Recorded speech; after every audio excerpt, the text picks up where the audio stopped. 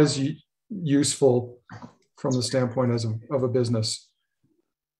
Matt, I'd love to uh, I'd love to disconnect, but there's always that fear of just losing touch with all these people that you've you know grown fond of over the years. But uh, there's just so much crap on there too, right? Avoid it. Yeah, Jeff, people still use that. I agree with Jeff. I, Kurt, I, I was I had to do my little back and forth thing there, so I had to mute myself. But I think what you were referring to is FOMO, which we talk about all too often these days. Just a bit more FOMO. Hey, Marty's here. I think we're going to let Marty join us. Yeah, we should. And I think Harmony's going to join us as soon as she possibly can. She may or may not have video, but uh, we should still be able to hear her and have her partake.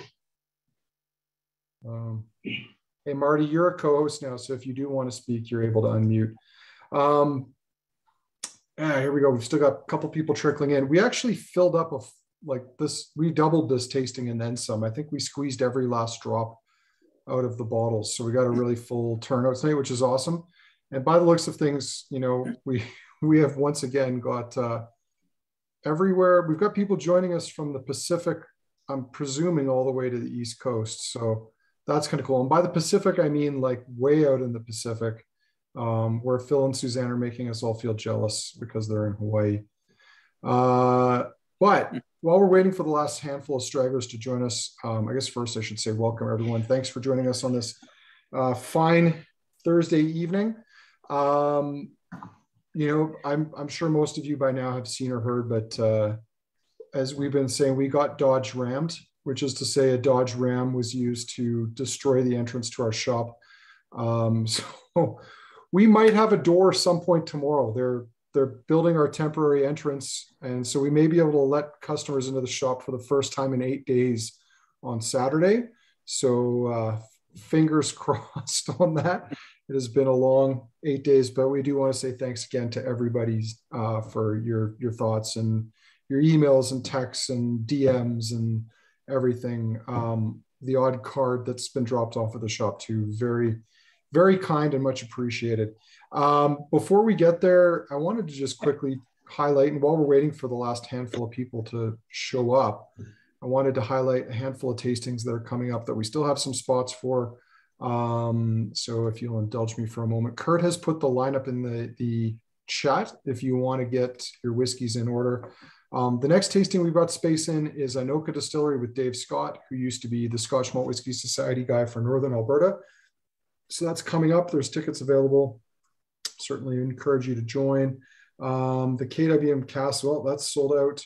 Um, Scotch Malt Whisky Society March Outturn. I know we say this every month, but there's a couple of really cool bottlings this coming month. Um, 15 spots left for that, so check that out.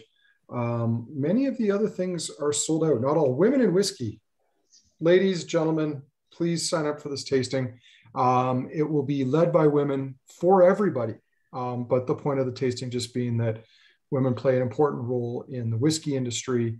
And uh, two of the ladies from our shop, Harmony and Chelsea, will be quarterbacking this one.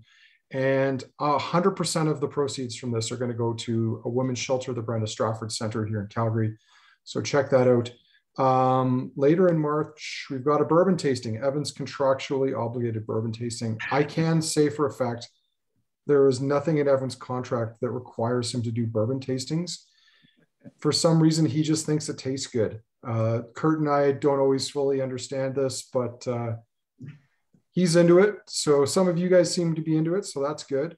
There, there's uh, handful of ones. They're just a little bit oh for sure. yeah. Um, and then Kurt, you got Shamrock and Shenanigans coming up um, for St. Patrick's Day. Um, there's the Wildlife Distillery tasting, and I know we said this about ten days ago that we were going to dump a whole bunch more tastings on the website because we have some things planned. We've got um, a Kavalan tasting planned. We have a new Kids on the Block tasting planned for some of the new distilleries. Um, but then we got Dodge rammed, and that kind of um, forced us to slow a few things down for a little bit. So um, we will get um, that up shortly. And to Kevin's question here, can you sample the SMWS if you're not a member? 100%. Um, anybody's welcome to join the SMWS tastings. Uh, they're $45, seven cask strength whiskeys. So there's no requirement to become a member. Um, but if you want to join either after, during, or you know, never, that's all good. Um, that's entirely up to you. So uh, I think that's all I was going to say for an intro. Kurt, anything? No, man, I've been waiting for this one. This is an exciting one for me. Rocking the mm-hmm. t-shirt tonight. Um, there is literally no distillery in the world who I have more affection for um, and a better history with than Bruichladdich. Does, there's, there's does Ard does Ardbeg know this, Kurt? Have you told them? Yeah. So my love there is is deep and passionate, but Bruichladdich is more of like a if I had to choose between my kid and my wife or my girlfriend kind of thing, you know, what decision do you make? It's got to be in this case Bruichladdich. So call it Sophie's Choice or whatever it is. Um, my my stories there, the way I've been treated there over the years is is gold. Mm-hmm. So with a new range like this, I haven't tried any of the last uh, six in this lineup. So this is super exciting for me. Wicked tasting. Mm-hmm. Yeah. Uh, I'm excited about this too, partly because last year when the Octomores got jacked in price by like, what was it, like 70%, like they almost doubled. I think your reaction and my reaction was like, whoa, these aren't going to sell. but but they keep selling. And I think I was actually concerned this time around because it sounded like there was not a lot coming. And in the case of the 12-3, there wasn't. Um, but I think, like yourself, I was very keen to try them. And then the one that I think we can have a bit more forgiveness for, like the jump in price, and we'll talk to that when we get there, is the Black Art, because now we're talking about almost 30 year old whiskey. And I mean, I think when the Black Art series started, they were what, 25? I think the, the first Black Art was 24 or 25 years of age, somewhere in that range. Yeah, somewhere in there. They've had a few, like, they may have started even as early as 23 or 24, to be honest, mm-hmm. but they've so, been kind of all over the map for that. Yeah. But uh, anyway, it's uh, it's going to be a cool range. And Marty, I think like like Kurt now, you've been to Bruichladdich. Yeah. Yeah. Long. Yes. Yeah. And what are you most looking forward to in this lineup tonight? Uh, well, I have to say the dark art and then the and then the uh, Octomores. So, yeah. What the, you're not excited about classic Laddie? I guess there's a baseline. Not that excited, no. Danny just sorry, Andrew, go ahead. No, no, you, you go. I just saw a comment there. Danny just filled us in a little bit. Black Art One was 19 years old.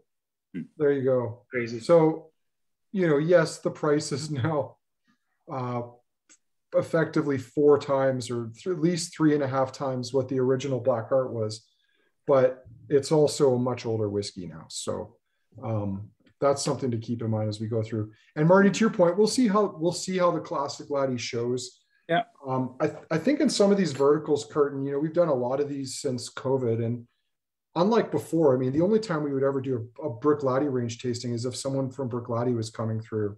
Yeah. Um, but when we've been doing some of these ones, I think we're often surprised by, you know, maybe they don't wow, but how well made most most of the distilleries we like talking about entry level whiskeys are. So yeah.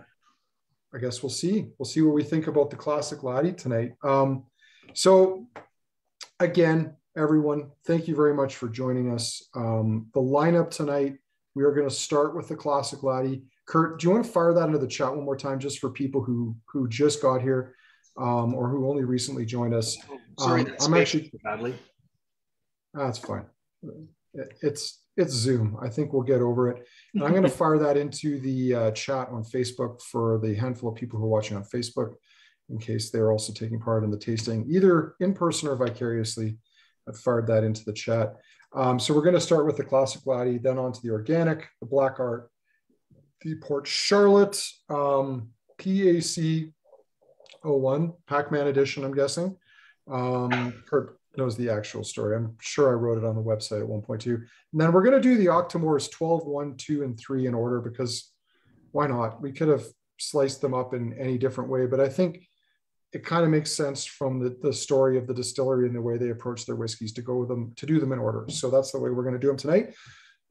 So without further ado, ladies and gents, um, your uh, classic Laddie, maybe a quick toast um, to a a better week ahead for Kensington Wine Market this week with an actual door. So, Slainte.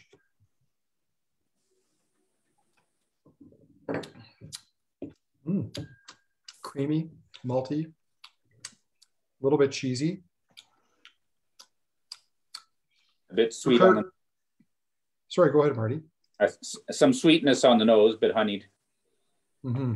So this like do you do you recall this curtain I, honestly i don't think our website for this product's been updated enough because it's one of those ones that we always bring in but i don't think it ever gets a lot of love i know you like selling it to people but uh are we talking here just straight bourbon cask for this one?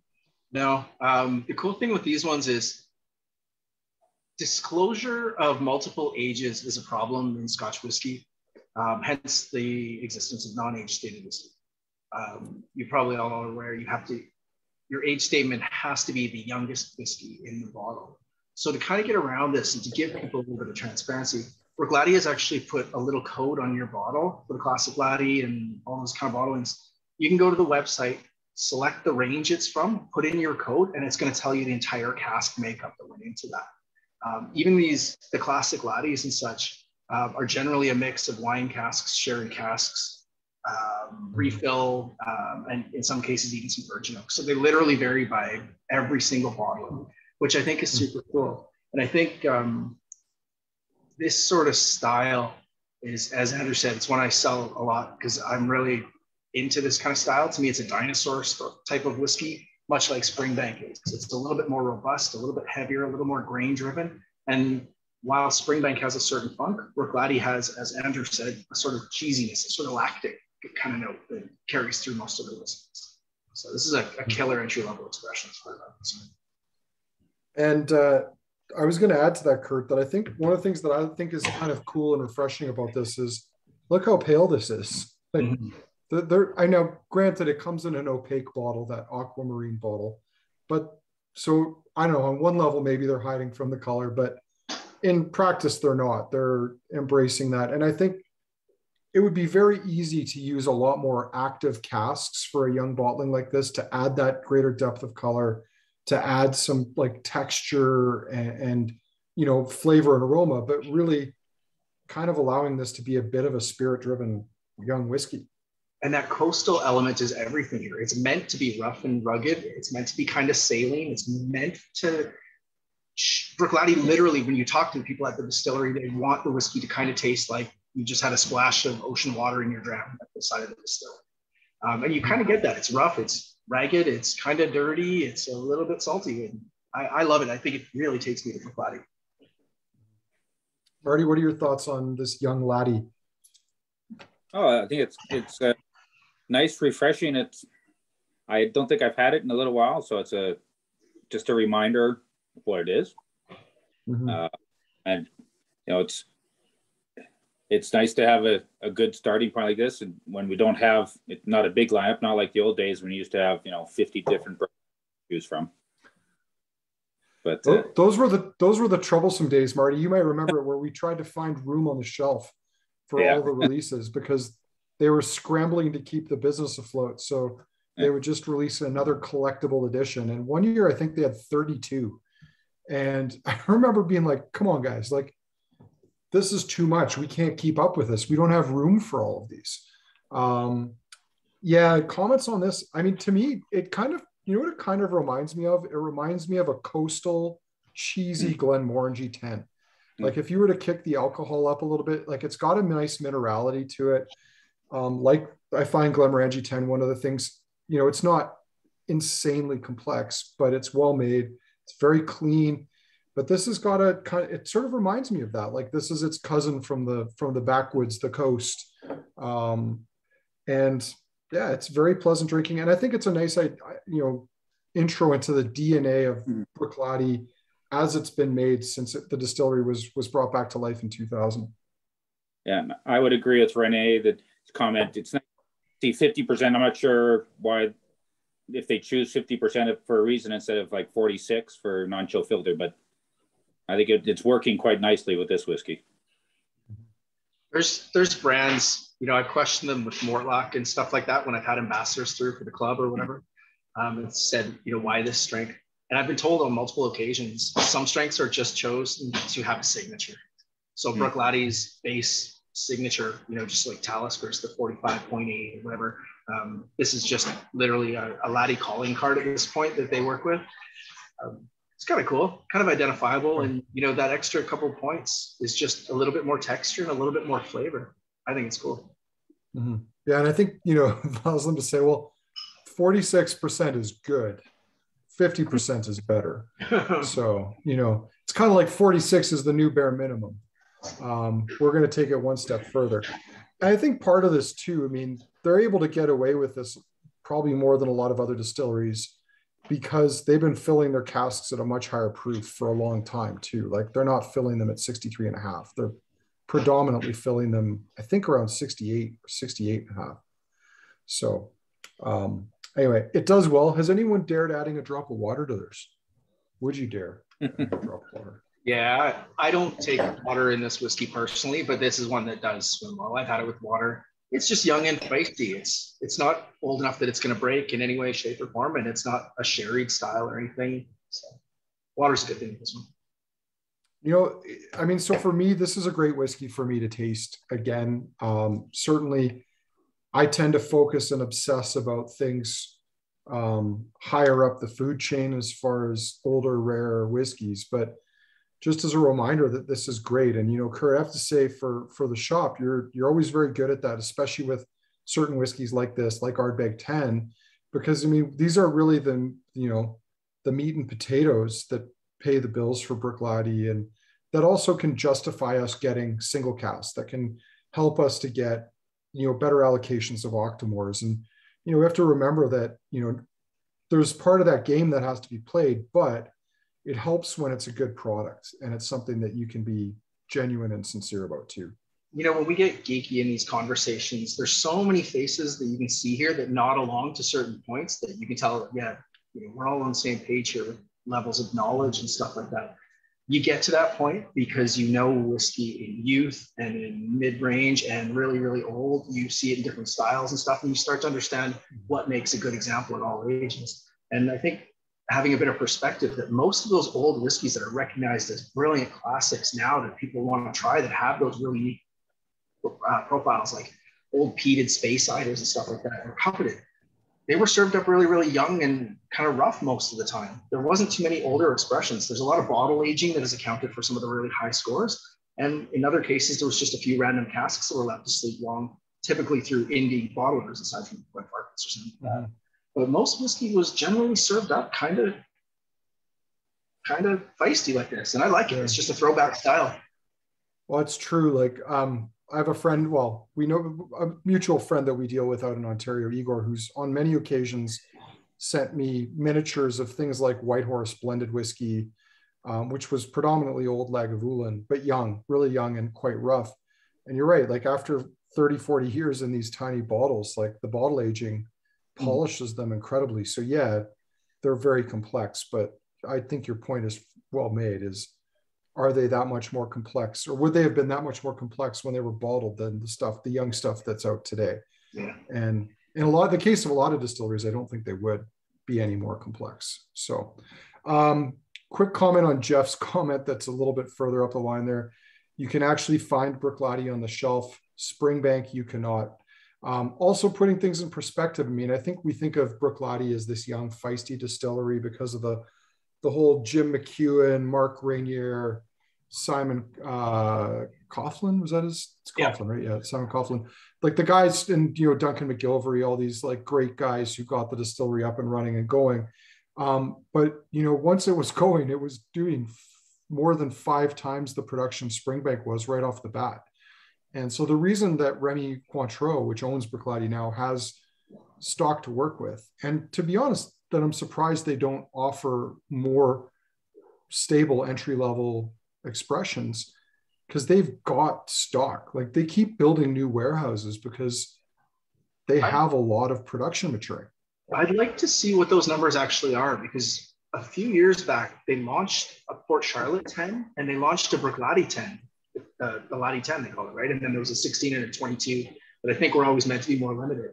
but that Laddie 10, they did a couple editions and then they had to pull the plug because they didn't have enough mature stock. They didn't have enough 10 year old to continue the line. And that's why we went back to the classic Laddie. And to the to their credit, there's often casks that are older than 10 in this. Um, mm-hmm. But I, I honestly don't know if they have a lot of mature stock.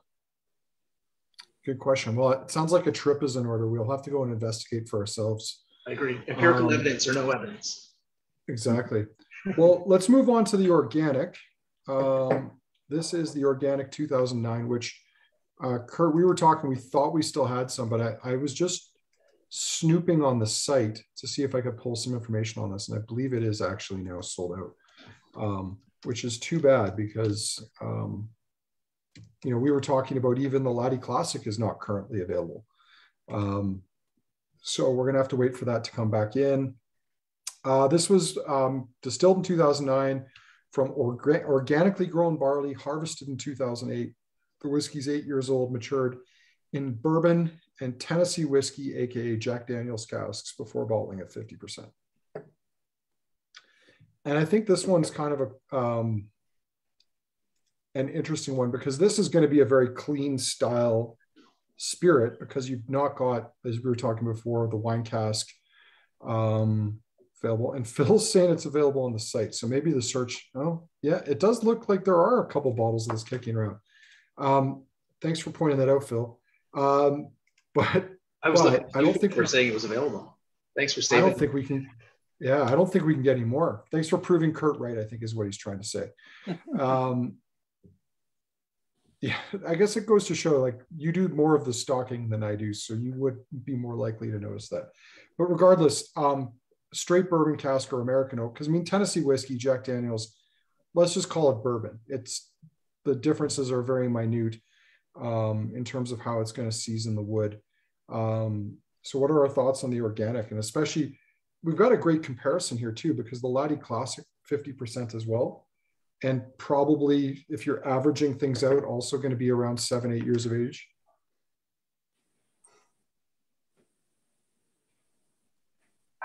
more honeyed. I think there's a there's actually a bit more oak presence in this. Some like vanilla notes, honey notes, toffee coming out of it. It's like you um you took the first one, added just a touch of like a faint pink bubble gum, crushed up some cinnamon toast crunch cereal on it, and then aged it an extra two years or so. A little bit more vanilla tones, like you said, a little bit softer and creamier. The um, crunchy bar. What's the the filling in the crunchy bar? You know the um, sponge toffee. Sponge toffee, yeah. So that's it's it's it's like the the crunchy bar, but without the chocolate on it. I do find it a lot hotter on the palate than the than the cla- than the uh, classic, the Laddie. I agree. I think the nose is softer, but the palate, I, I think it kind of lacks that maybe sherry and wine cask cushion that the first one has a little bit. Yeah, the the barley and actually the sharpness to me really is coming come from like this grassy malty barley. Um, and it almost fades into like a faint metallic note too. It's interesting you say that because I was just getting a little bit of um, like pencil shavings on the nose, a little bit of that minerality or graphite sort of note, and a little graphite. bit of sweetness. Mm-hmm. I mean, it's not overpowering. It's not in a bad way, but um, you know, it does beg the question with some of these like releases, like, is it, you know, that organic nature of it a bit of a gimmick? Um, you know, and the the reality is with most organic single malts, they always have to be ex bourbon um, because it's just I think it's a lot harder to get do organic sherry casks, in particular to keep the the sherry cask from spoiling when you're shipping it from uh, Jerez to to Scotland. Yeah, this one's a little bit hot, a little bit naked on the palate for me. Um, the first time I I met Mark Reynier uh, at the Bruichladdich Distillery, it was 2010, and I'd been picked up by Alan at the airport and driven to the distillery and toured around and saw Mary and saw Jim and everybody, and then he took me to Mark's office. And I don't know if you remember Mark's old office, Andrew, the great big sprawling thing.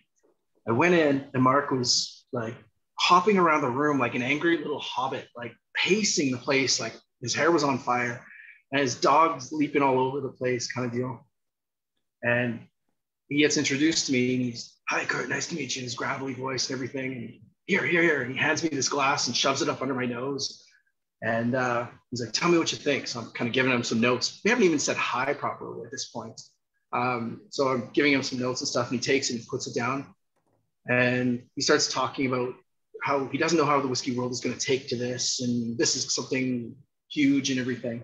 Um, he then proceeded to say bloggers were going to be the death of all this kind of stuff. I was a blogger at the time. Um, he said he hated the people who were so opinionated and wouldn't just listen to reason and whiskey and all this kind of stuff. And then he, to, you mean to Mark to listen to Mark? Yes, basically to listen to Mark. Um, he pulled on a pair of welly boots, grabbed his dog in his leash, and said, "I'll be back in a little while," and then just disappeared. And I just waited in his office for a few minutes until somebody came to get me.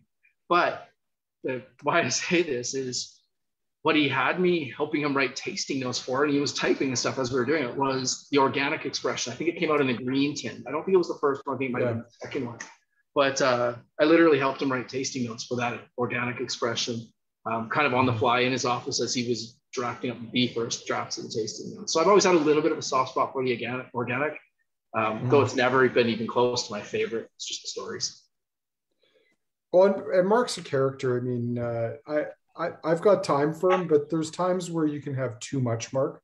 And my first experience with Mark Reynier was quite different from yours. He was hopping around like a hobbit who was, had not taken his ADD medication, and um, we were sitting on his couch, and he proceeded to lecture us for three hours about like terroir and the only thing that broke the monotony of the conversation, because like I was interested, but not three hours interested. And that's the abridged version. yeah, was his dog biting my hand, like almost drawing blood. So, you know, he's the funny thing is he's still passionate, he's still fired up now, but he's I mean, he's clearly got enough on his plate that he can't justify three hours ranting at one or two people. So um, but yeah, that was I always kind of hoped after that, every time I went there, was like, please let it be Duncan who shows me around. Please let it be Duncan who shows me around. Partly because he was such a nice guy, but also partly because he wouldn't lecture me about anything. So um, yeah, good times at the Bruichladdich distillery. Uh, should we move on to the black art? Yeah, absolutely. Mm-hmm. Go to some Old Town whiskey. So I can actually share my screen for this. I don't know if we'll be getting more of it. I don't know how much we have left, but it's less than a dozen bottles. Um, but we've still got some of the Black Art 9.1 in, going for 769 a bottle, which I'd have to look back and see what we sold. In fact, I could probably check this while we're on here. But I think, well, I won't do it while we're looking at this. The I think the original one sold for around 220, just going from vague memories here. Um, but as always, they don't declare the full creation when Jim McEwan came up with this, they, you know, they while they were going with this, he was like an alchemist trying to create something from, you know, top secret ingredients, aka wine casks. Um, and you know, Kurt, we've talked about this before. You know, I love Jim. Like, I think he was an incredible salesman. You know, and he certainly did a lot along with Mark Reynier to build Bruichladdich into what it is. But I know we talked about this. I think the it was the Black Art 5.1 which was, I think is still one of my favorite releases of the entire series. And that was the first one that was not made by Jim McEwan. It was made by Adam Hannett. Yeah, Jim, um, I honestly can't think of a bigger, better person in the whiskey world. Um, he is the legend. He will be our John Madden, I think. Honestly, he's a rock star and he likes to tell rock star stories. Um, I miss the guy. He's a good friend, and it's been a long time since I've seen him. But you're you're 100 percent accurate. He is the best guy in the whiskey world, best speaker, best ambassador, best source of stories and knowledge and lore and stuff. But I don't think he has a great palate, to be honest. He's got a proclivity for wine casks and heavy, heavy styles that aren't necessarily to my liking or a lot of people's liking. But having said that, there's an awful lot of people that absolutely enjoy that style, and we can't keep those special releases on shelves. They're anything to gobble up. Mm-hmm. Yeah. No. Well, again, there's you know, it'll, it'll remain nameless. But I know you and I have laughed about this many times. A certain retailer who had trusted Jim to pick a sherry cask for them, and it was just like undrinkable. Um, but anyway, what one are you going to do? One of two whiskeys I've ever spat out. yeah. uh, all right, we're nosing the Black Art 9.1. Doesn't right off the bat come across as too much wine cask. Like you can, I can, I would say it, it comes across more as like French oak. Like you've got those nice, like warm gingerbread tones, um, spices, and like candied fruits coming through, but it's not, um, yeah, it's not coming across as wine casky as I thought it might.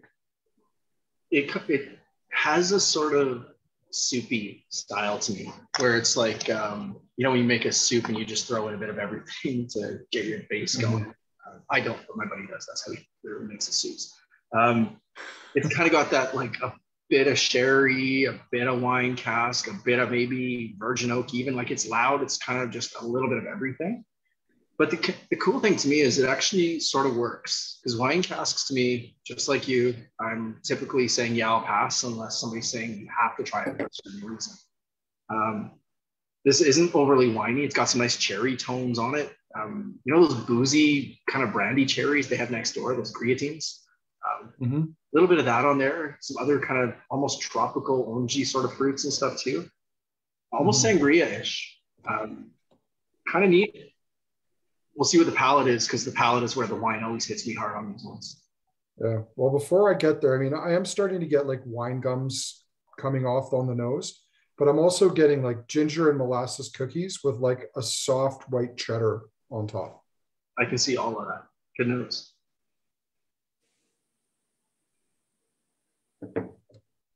There's a little bit of those. Did anybody here ever have those um, when you were a kid? Because I haven't seen them in years. They probably can't make them now they were like black licorice pipes. And on the end of the pipes, they had little red dots, candies. When you had that bite, it had a little bit of candy with the licorice. There's a little bit of that coming through on the nose too for me. You could also call that candied fennel, where you're getting that sort of licorice mm. tone, but then also like that candied uh, candy coating.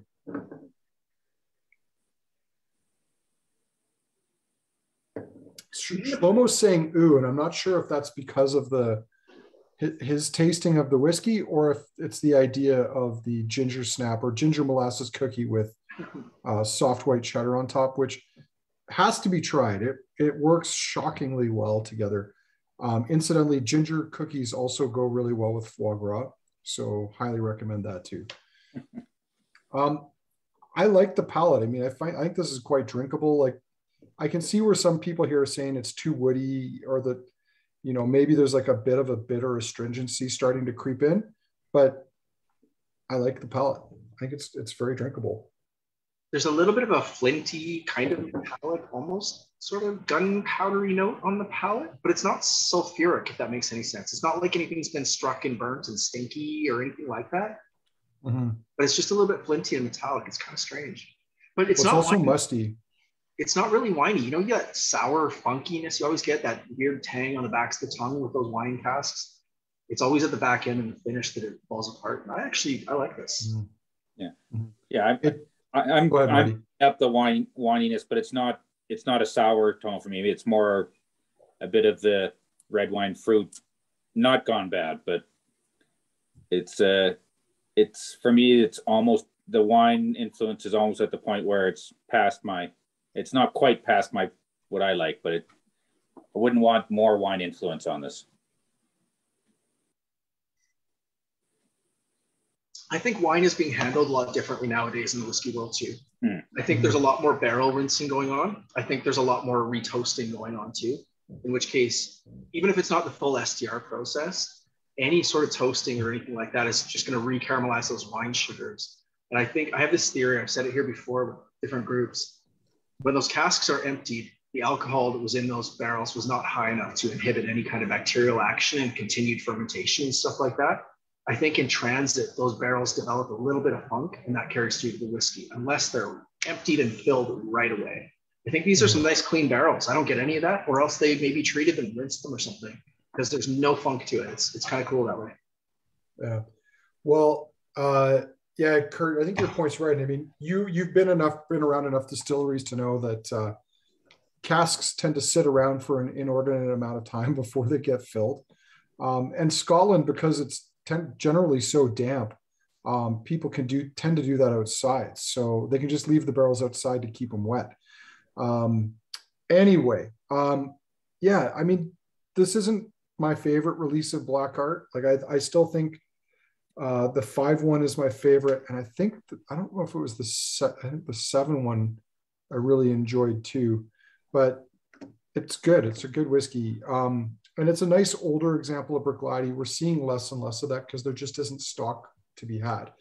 Uh, not a lot of production between 1983 and 2000. In fact, I think most of that was around 89, 90, and 93, 96. There might have been like a little bit mid 80s, 84, but I just know there's not a lot of years of like they don't have every year. There's a lot of gaps in production, and what remained from when they bought the distillery from uh, what was it, Whyte or it was no, it was Whyte and Mackay in 2000. There's just not very much of it left, and uh, this is a cool example of pre-closure Bruichladdich and, and nice to have. Um, Harmony, if you are interested in chiming in either audibly or in audio and visual, you you are, have the ability to unmute whenever you want if you feel like it, which it Thank looks like you, you. did. Oh, you're welcome. So we don't get to see you; we just get to hear the dulcet tones of your voice tonight. Yes, unfortunately, uh, we're down to one laptop at the moment, so I'm using my phone, Uh-oh. and my phone is still uh, damaged. So we'll just leave it off. Um, Weird not having a face when the voice is talking. It's kind of like uh, she's our Hal. She's the, the the brain behind the machine.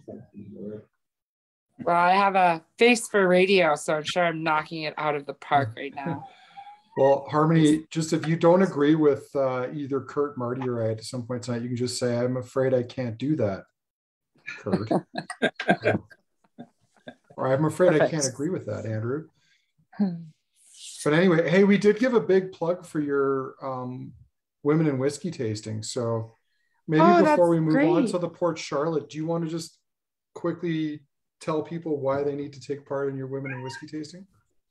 Um, yes, they should take part in the Women in Whiskey for many reasons. A, it's ready as of tonight. I finished pouring um, the whiskeys, so that's exciting. There are also eight whiskeys in the lineup, so I think that's exciting. Uh, Forty dollars is great value. Um, you had And something? you hustled.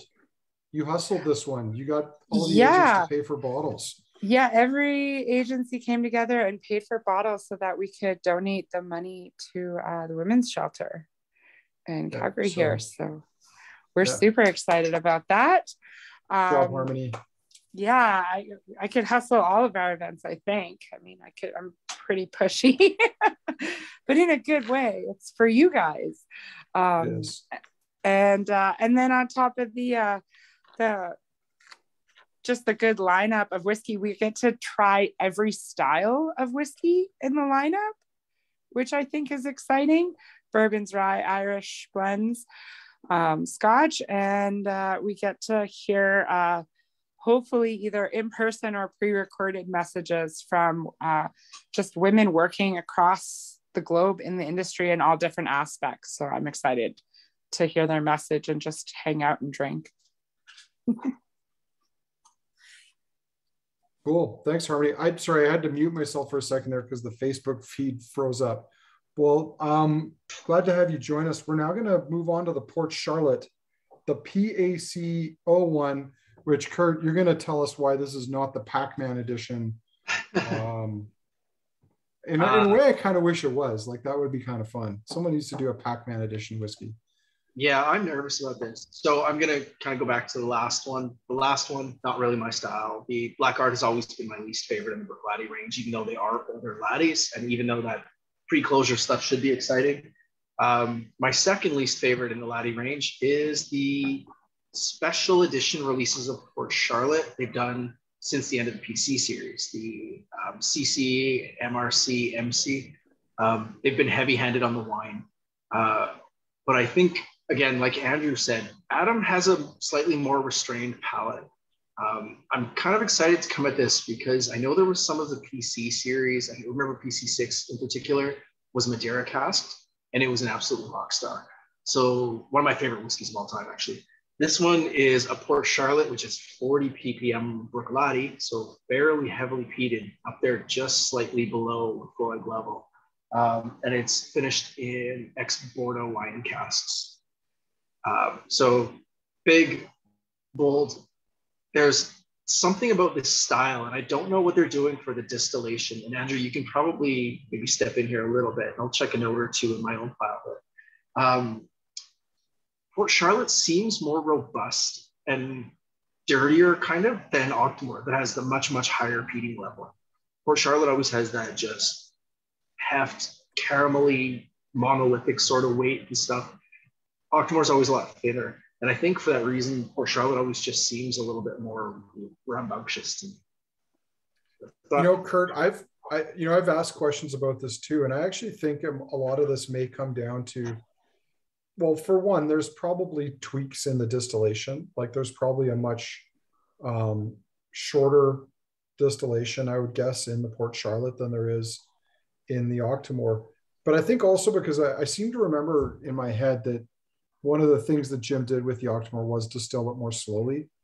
Um, I don't know if that's jiving with your memory, but with Port Charlotte, the, yeah, the other thing is, uh, I think a big part of, and this is the thing that I've always found a little bit um, funny about Octomore and Supernova, is there seems to be something different about the way the peat comes across when you get it up to the high 80s or over 100 as opposed to just 40 to 50 that it becomes less dirty and it seems like it's more smoky like it's more about the smoke and less about the actual peat and the dirt.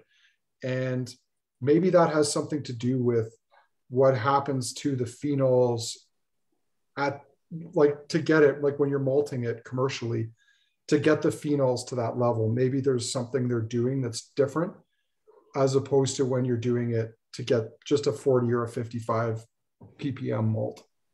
Just to take that a step further, because we are geeky enough to all be at a Bruichladdich tasting, drinking lunch of Octomore tonight. Comparison is probably even more apt than you think, because you're comparing Supernova and Octomore. While they're both the most heavily peated, that's the obvious comparison.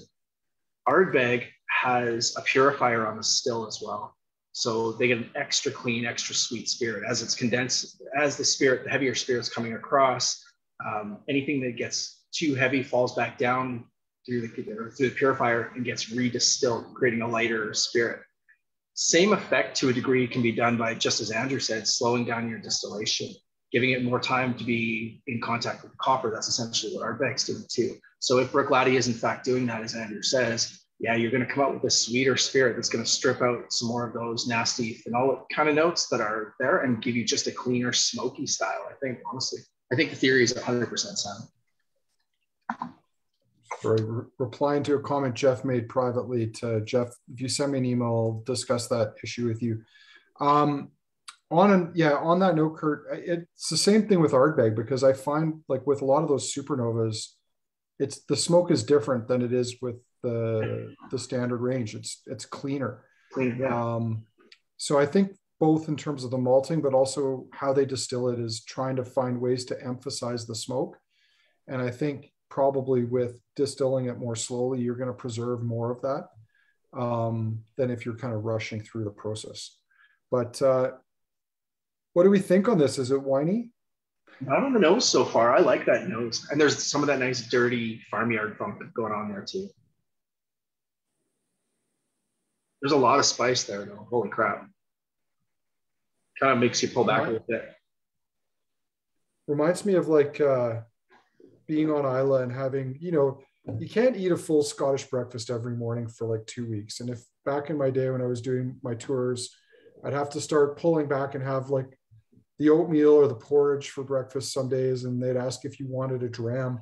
So like putting peated whiskey and a little bit of brown sugar or demerara sugar, I guess, over there on the, the porridge. That's what it kind of reminds me of on the nose. Holy shit, that's good. Okay, this is the first one in the series that I've loved. This is back to what the um, PC series used to be. It's clean. It's flawless casks. There's no sour funkiness there to it. There's no sulfur notes, no any off notes at all. That's just clean. It's awesome cheesy cask. though. But that's the It's hallmark. cheesy, but it's not sour milk. I agree. There's none of Yeah. that. That's a. I love this style. Um, what was the last one we had? The MRC, because that one was just extremely unpleasant. I Um, could not recommend that whiskey to anybody I knew. People came in for it and they were excited about it. I was happy to sell it to them and say great things about Bruichladdich. But I, I never led anybody to that whiskey because I just don't want that on my conscience. It was not good. this is awesome. What are awesome. your What are your thoughts? Sorry, I'm I I'm liking this one. The smoke's nice and clean. I get just a a hint of wine tones on on it, but it's just just a hint. So it's really just adding in extra notes. Yeah, for me, barley, granola, oatmeal, brown sugar. There's a nice touch of like maple syrup sweetness in there as well too, and yeah, the the peat. It's this nice kind of ashy, kind of clean ashy peat. Um, some nice salty tones in there too. It's quite nice. Um, Harmony, agree, disagree? Uh, no, I agree. It's uh, definitely got those great oat notes uh, that I like and some sweetness. The oak spice is bang on. The timing is perfect for it. I love it. I, I love Port Charlotte. I'm always most excited about it. I'm sorry, my cat is, is talking. Man, we can't. We don't even get to see it. It's just so disappointing. He's mad because I just sprayed air freshener, which I got mad at him for having to do. Um, Oh, he likes Bad cat. to yeah he likes to fart when he doesn't get attention and i got mad at him for having to spray the air while i'm trying to nose and he had something to say about that oh wow. You're you're basically reinforcing all the reasons why I don't have a cat. Um, yeah this is it's not ideal oh well. Um, the Yeah, whiskey is I- good the whiskey is good, and hopefully it's making up for the Febreze. That's good, man. I'm so excited for that. Port Charlotte is my favorite thing Bruichladdich produces. Um, and that's right in my wheelhouse. Back to clean. Little bits of cola notes on stuff there. Really cool. You know, I hope I never know. Like Sky Andrews has put into the chat, um, my new laddie tasting note, farting cat. I really hope I never experience or know what a farting cat smells like because I'm pretty sure I don't want to know. But uh, we'll leave it at that. I mean, I suppose it can't be any worse than a farting dog, but that's not pleasant either. So, um, before we move on, there was oh, Kurt, I'm just thinking like, you know, we always make fun of you because you hold a guitar and never play it. But I kind of feel like for tonight's tasting, you kind of need a double guitar. Like mm-hmm. anything less than a double guitar for tonight's tasting just isn't enough. I didn't have anything like that, but I did absolutely break out the Laddie theme colors. Oh, look at With Grey and Telly tonight. Kind of matches the Laddie tins, yeah. Next next time you'll have to like do your nails to match it too, just to to take it to that level. That's probably not going to happen. But i Your- can paint your them daughters i can can help. paint them andrew it's totally doable i have colors and time Yeah, Love it. Well, we got we, we're just we're fermenting ideas here, which is always a good thing. Um, hey, one thing that I kept wanting to bring up, um, and maybe because we're kind of at the midpoint before, you know, and we were joking about this, Kurt. By the you, like you said, by the time we get to the Octomore, people's palates will be nuked, but I kind of feel like they're not yet. Like, um, if and if they're not, they will be shortly because we're about to do a trio of Octomores.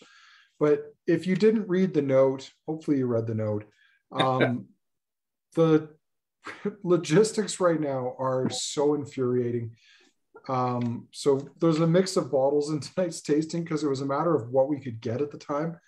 Um, and we know that some of the caps are not ideal.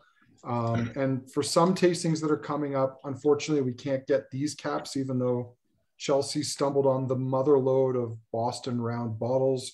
Um, but we're working on it. Like literally hounding people all over North America to track things down in the quantities we need, which are, are vast. But uh, we appreciate your patience on that. We wouldn't use these things if we didn't have to. And for some tastings coming up, but not all, you might notice that you're able to sprinkle tiny amounts of your whiskey out from the top.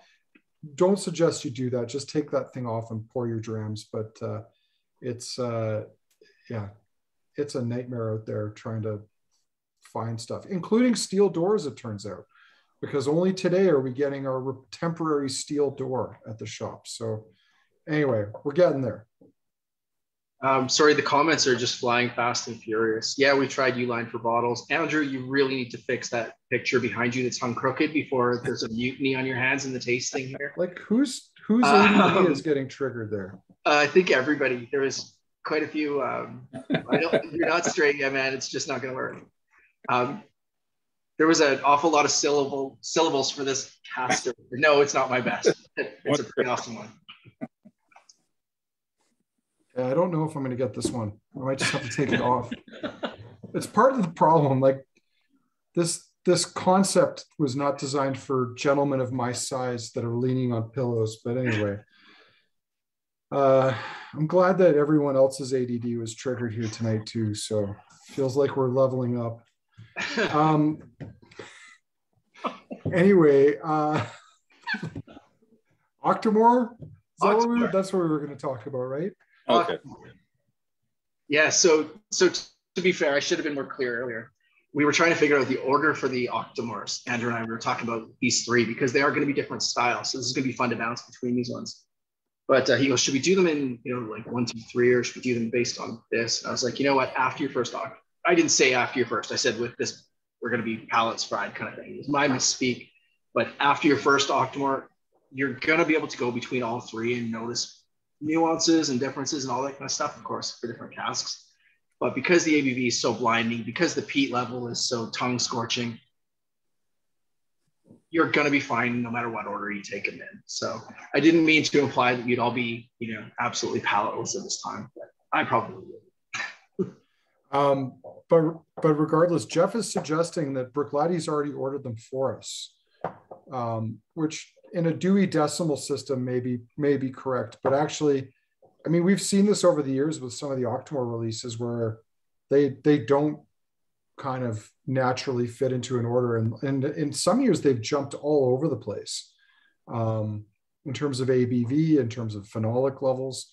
But anyway, uh, we're starting with the traditional one, the, the 12.1. So let me bring my screen up here for everyone.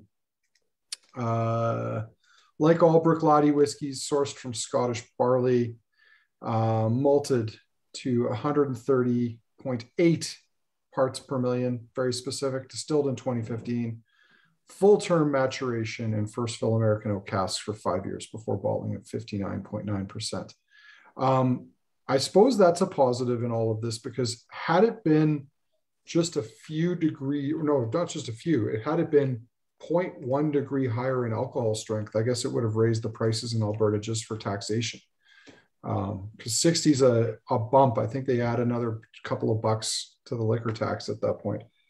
Um, what are the thoughts on the nose of the 12 1? Beauty. Really, really clean.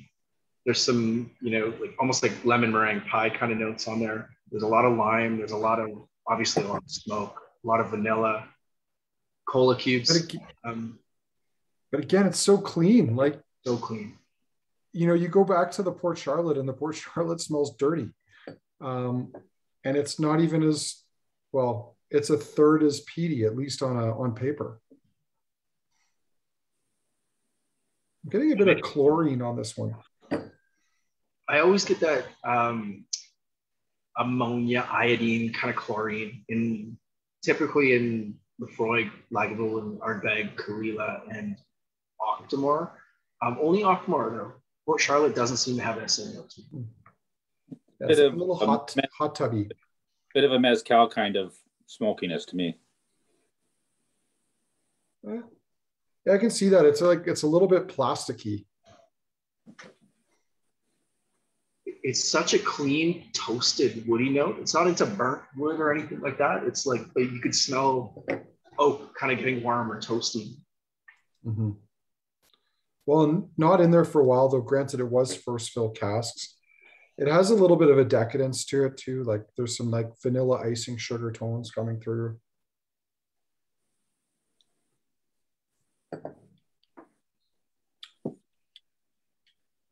Wow, that's a mouthful.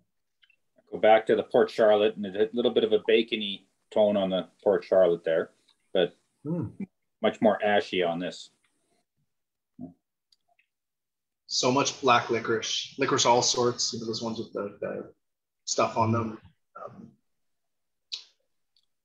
lots of citrus there again. Some burnt seafood yeah. notes. Tiger tail ice cream. Yeah. Um, but in addition to that, yeah, like I'm getting icing sugar, like coconut, coconut icing sugar.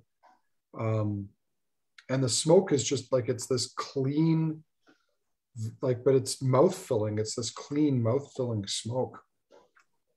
It's so oily too so texturous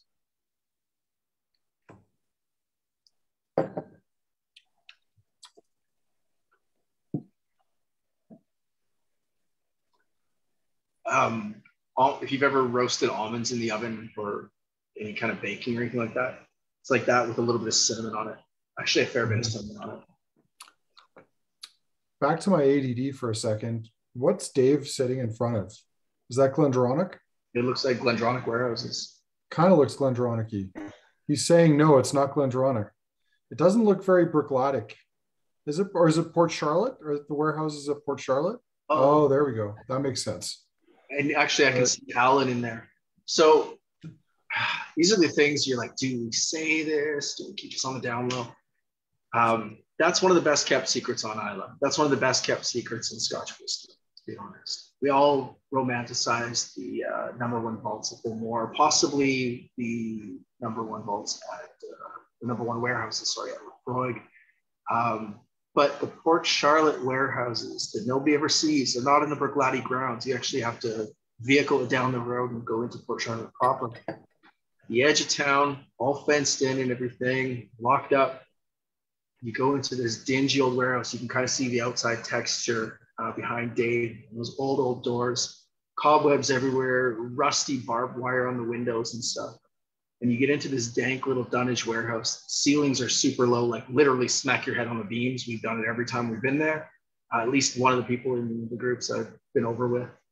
Um, steep, steep, rickety stairs to get down to the lower levels and stuff in these warehouses are some of the most insanely cool whiskeys I've ever tasted in my life.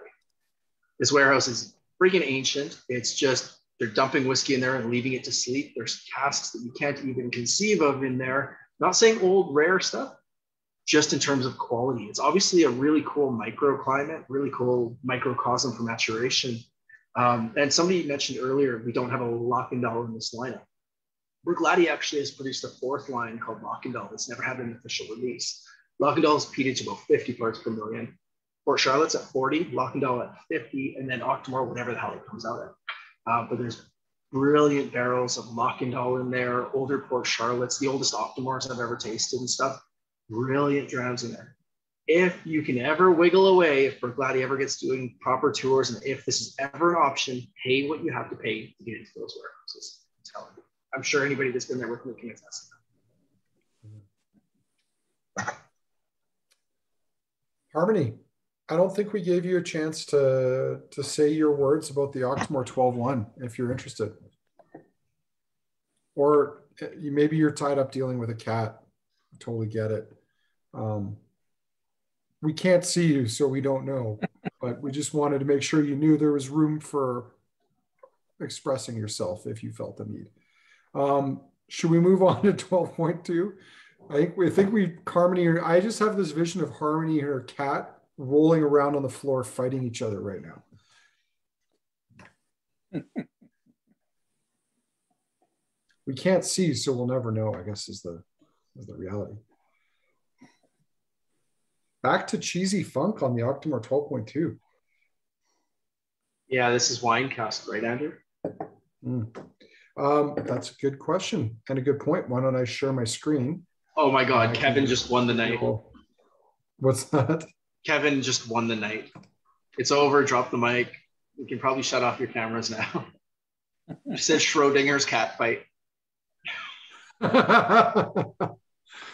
Uh, Amazing. well, I think we have to assume the cat's winning because we can't see Harmony. So, um, But was but there? anyway,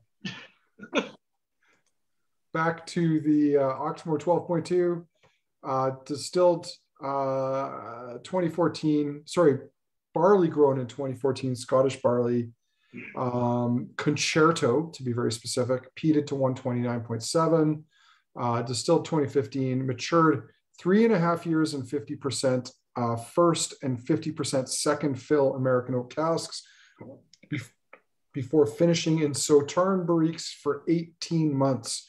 So we're back to five years of age. 57.3% is the strength of this one. Um, so those are the deets. Uh, sounds like they are having a bit of a fight. So we'll let them sort that out. In the meantime, yeah, that wine cask comes through. And I mean, again, just color. There's a there's a ton more color. And we're we're looking at five years and five years. And keep in mind this last one was all first fill American oak. It's thicker, it's creamier, kind of going into that clotted cream kind of note. Maybe that's that sort of cheesiness that I'm finding. Sorry, Andrew, did you ask me something?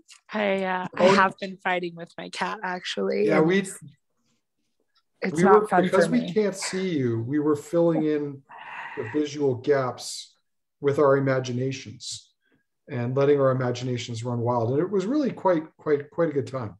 Oh well, I'm glad you're enjoying it because I really want his dad to come home and beat him. I also did not want the cat. I got it. I hear you. So uh, he's asserting, he's trying to assert his dominance, it sounds like. Well, honestly, he wants to play. He got a toy from Santa that he absolutely loves.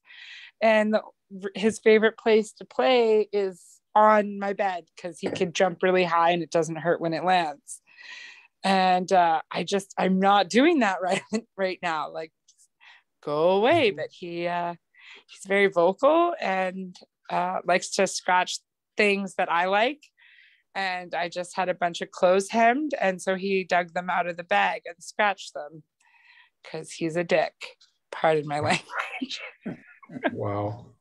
I don't know if I'm just feeling sympath- sympathetic for you vicariously, but I'm almost getting like kitty litter from the whiskey now on the nose. ah, joke's on you. His litter is wheat, oh, 100% organic. Um, Kurt, what are your thoughts on the nose on this one? Kurt, Kurt's preoccupied. Marty, we're going to go to you. Oh. I certainly the nose isn't as clean as the the point one. Yeah, I think I like I like the cleanliness, just the tones of the point one noses. But uh, And there's more barley when I go back to the point Yeah. one as well. Well, let's see if the Sauterne cask adds something to the palate. Because I mean, it it thickens up the nose a little bit, but it's not adding a. It's adding a little bit of a decadence, but let's see how it does on the palate.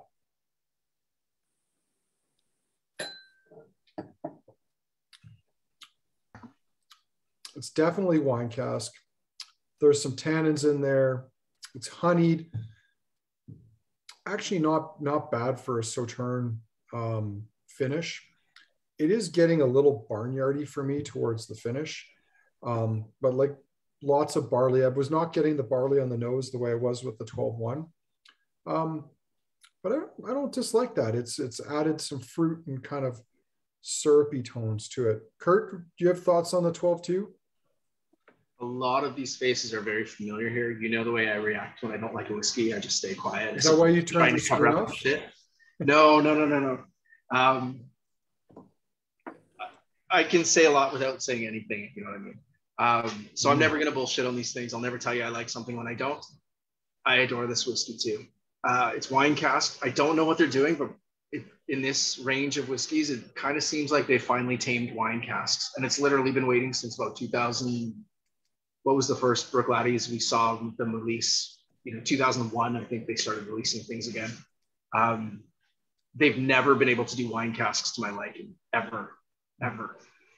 I love this style. This is cool to me. It doesn't have that weird funk on the finish that leaves me like wanting to lick an ashtray even to clean my palate. It's clean, it's elegant, it's smoky as hell. But like Andrew said, it's that um, it's not that dirty, peaty kind of smoke. It's more like burnt woods kind of smoke almost, which is mm-hmm. kind of kind of refreshing. Mm-hmm. That sharp citric style, beautiful. I adore this. Yeah, uh, the finish like, isn't exactly wine casky. You know what I mean? Like you get it on the nose a bit, you get it on the forward palate, but it finishes like a nice, clean, you know, your, your farm forward, barley forward, nice, nice wood smoke finish. And yeah, I agree. I know Kurt doesn't like wine casks and he loves to say that, but I I love this, and of course you can't hate it because it's great. mm-hmm. I do love being proven wine proven wrong with wine casks. It's uh oh yeah, it's exciting, well, right? It's it's part of the journey. Like when you have that bad expectation or or a good expectation, any expectation that you could be proven wrong on, it's a good experience. I think. But generally, if I have high expectations, I don't like those being shattered. Um, but when I have very low expectations and they're either greatly exceeded or shattered, that's kind of fun. And I mean, it's like the Mortlach cask we have at the shop that, you know, I remember the rep brought it in. And he's like, like I said, why are you bringing us wine cask samples? We hate wine cask whiskeys. And um, most of the time, the samples he did he did bring in like that didn't meet with our expectations, but the most recent one did. So um, when they're good, they're good. It's obviously it's the wood and it's how the wood is treated. I think it comes back to your point, Kurt. Like they're not just dumping like in the old days of Bruichladdich. And I think this is maybe where a lot of the cynicism comes from is we all remember like pink Murray McDavid and Bruichladdich bottlings because yeah. They left wine in the barrels or the casks before they put the, the spirit in. And they're not doing that anymore. And um, presumably, because um, I don't think not as embarrassing as FWP Bowmore. Yeah, it should be right. Those those pink whiskeys mm-hmm. were embarrassing. Yeah. I think maybe Sauterne casks are a little safer for wine casks. I mean, it's such so much residual mm-hmm. sugar; it doesn't ferment easily, so it's not going to. No tan, not the same tannins either. Yeah, not going to spoil as easily in the cask, so mm-hmm. you don't have the same risk as you know, like a a burgundy cask or something like that? I have to say, I you know, much like Sauterne's perfect pairing is foie gras, and I know that's the second time I've mentioned that in tonight's tasting. I'd like to try this with foie gras. A little bit of smoky Octomore with that sweetness coming through from the Sauterne and foie gras, I think would be great. Yeah, I bet um, that would be um, great. Anyway, um, yeah, it's it's bang on. So Cool. One one to go, one Octomore to challenge our palates with. So uh, I'll pop up the screen here. We're on to the 12.3. And sadly, we don't know if we're going to get any more of this. We are out of it now. Um, and this is the one that a lot of people are jonesing for because it's the one made with Islay barley. And I mean, this is a great talking point, Kurt, because uh, and Marty, I know you've been there too, and I know many people on tonight's call have been to Islay. Islay is not a great place to grow barley, like from a purely technical standpoint. I'm not saying that the whiskeys that have been made from Islay barley, like the Kilchoman 100% Islay, which is one of my favorite styles, hands down. Um, but it, you know, just from a pure growing, like it's wet, it's, you know, it can get sunny, but not very often and when it is sunny, it seems to go through these periods of like rain and then long droughts. It's just not an ideal place to grow barley. But there's something about the Islay barley releases, not just from Octomore, but from some other ranges within the Bruichladdich portfolio. And I don't know if the similarity here is when you're talking about you know, the best wines, the best vineyards having to struggle down. The roots have to go 50, 60 feet underground to find moisture that they really, and if it's maybe that's what's going on with some of these Islay barley whiskeys that are good, is that it's not great terroir for barley and the barley really struggles to grow and thrive. And maybe that's having an impact on the spirit. Um, and what do we got here? It's Islay barley uh, oak treatments. So what do we got here? Peated to 118.1.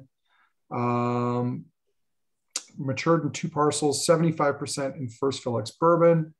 The remainder was in first fill PX sherry butts from Fernando de Castilla, bottled at 62.1%.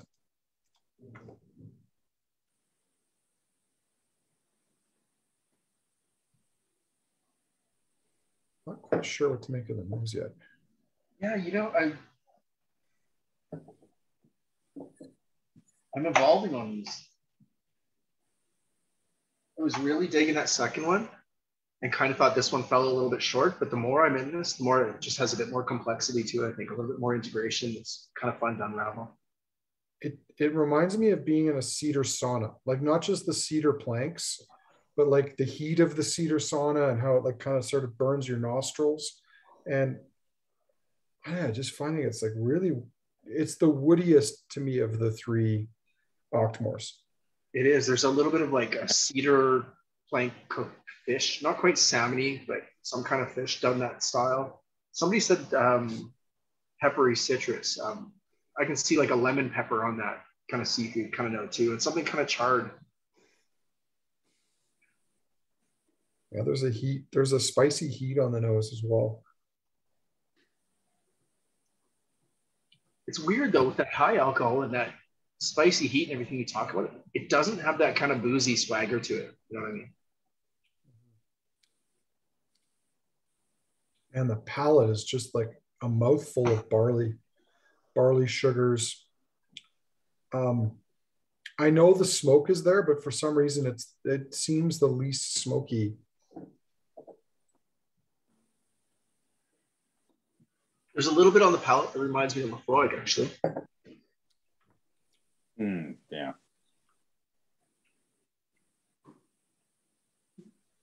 Burnt lime black licorice, a little bit rubbery.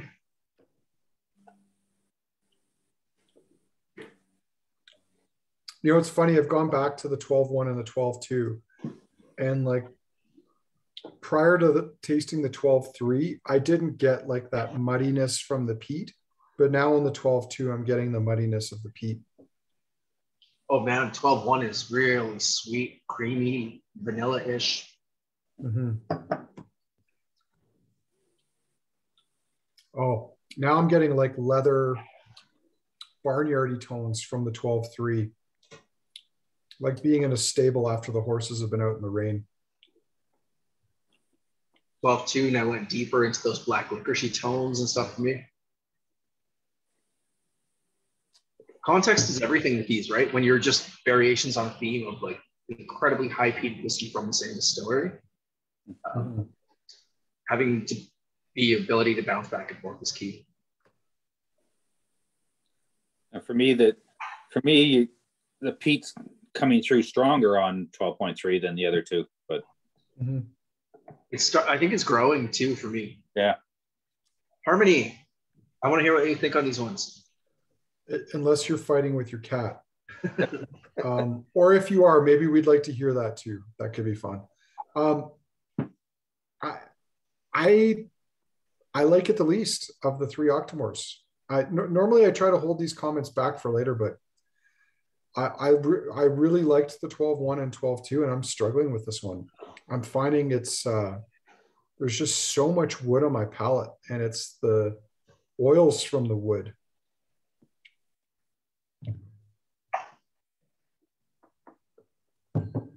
I'm sorry about the pictures behind me being crooked. I'm I'm not fixing them again. You're just gonna have to deal with it. That sounded like a legitimately sorry, sorry.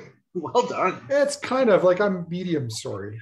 So you sounded like so serious medium. there. I actually looked up for a second. Like, what is he?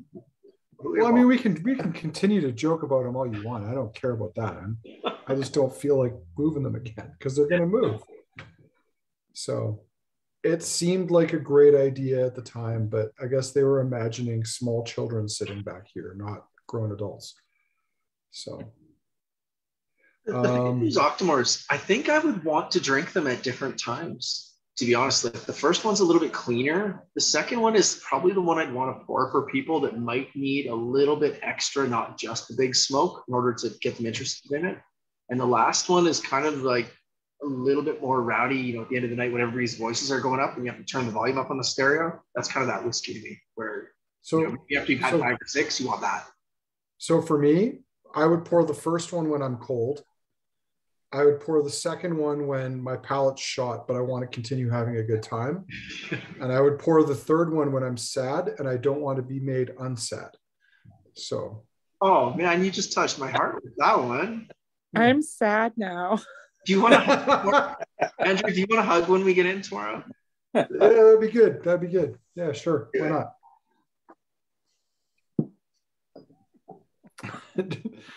anyway, I yeah, I don't I don't know. Like it I can drink it, but I'm not really loving it. Harmony, I know you checked out for a bit, but uh No, yeah, sorry, I'm here. I I, I don't want to talk about my cat, but I'm dealing with my freaking cat. Um, Do you have one of those like travel boxes you can put it in? I, I suppose that would mean you'd have to catch No. it first. yeah, oh, I can catch him because he plays this game where he doesn't want me to catch him until I go in the bedroom. That's where he wants me to be is in the bedroom and to play on the bed with his toys because he's got like seven toys on my bed right now. Anyway, 12.1 was my favorite. I thought it was lovely, uh, really nice. Even going back to it, it's it's nice. Going back to the point two, it's way more barnyardy. Reminds me of a rainy day kind of whiskey. Like, yeah, like it's fine. And the third one is okay. It's it's not for me. It's it's like what I would expect a whiskey with that much phenol content and peat to have, like flavors, like taste like. It's it's big, it's smoky, it's oaky, it's peaty, but it doesn't do a lot for me. But it, it's what you would expect. Um, the first one and two are great. Uh, both very different, but the third one I didn't love. It's just overdone for me. Well, you and I are in sync on that because I think I felt it was a little too much too. So Yeah. um Mar and and don't worry, we're going to give everybody their own chance to vote here for your for your one and two favorites. I'm just reordering the poll here. Um, Marty, do you have thoughts? What are your favorites from the Octomore? Well, a bit torn. I I think for me it's going to depend, you know, what I feel like drinking. But right now, I like the twelve point three the best. Just I like the twelve point one is the cleanest, and uh, I mean generally probably prefer that one most of the time. But you know, for some reason I'm liking the twelve point three more tonight. You're dead to me, Marty. No, I'm just kidding. Um, Kurt, thoughts?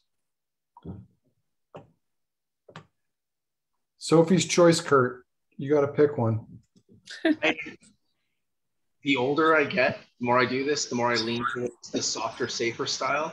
But I think I'm with Marty because you kind of look for a little bit more character. I don't normally go for the loudest whiskey in the room anymore at this point in my life.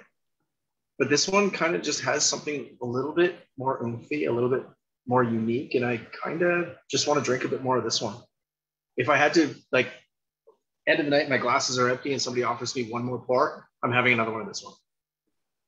Is it because it's the end of the night and your palate is shot? No, I, I think it's just honestly, I think it's the most unique of them. Um, No, that's totally fair. It's I because Kurt's got the, the song were. closing time playing in his head. now I do. Son of a And- bitch. Maybe he will play it. I don't know it. He'll Oh, never play it. It's no. Never. Um, should we go back through the back through even though I've polished off two of my three octomores so far? Um, I'll let you guys guess which ones. It shouldn't be hard. Um, go back through the lineup one last time before we fire up the poll.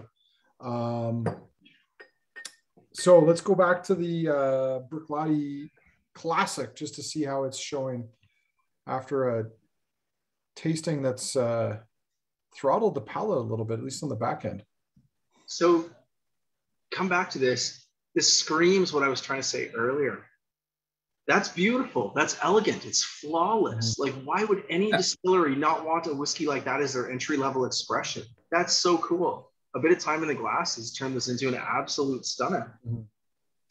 Yeah, the barley tones, the fruit, the cheese. Mm. Yeah, it's a great whiskey. Um, it, it actually really is a great whiskey. And I think you look at it, like put it in context with the Octomores. I know we've been oohing and awing for the last 20, 30 minutes over these peat bombs. But I mean, this is barely older than those. And I think for elegance and complexity, it's probably more elegant and complex than any of the three Octomores. Um, and what, a quarter of the price? So. Uh, organic, how is the organic faring? My nose is soft. They get a little bit of Flintstone vitamins now on the nose.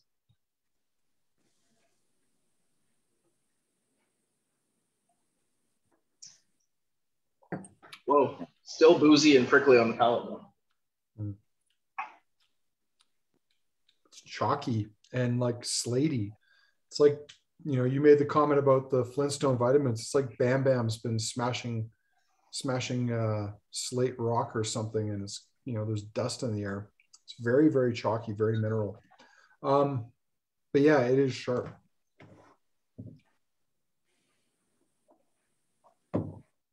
Marty or Harmony, any comments on those two going back and revisiting them? I was just saying I didn't drink the other ones. I started with the Port Charlotte and just did the Octomores, and I'm wondering if I would have the same opinions of the whiskeys had I tried them all. Um, oh.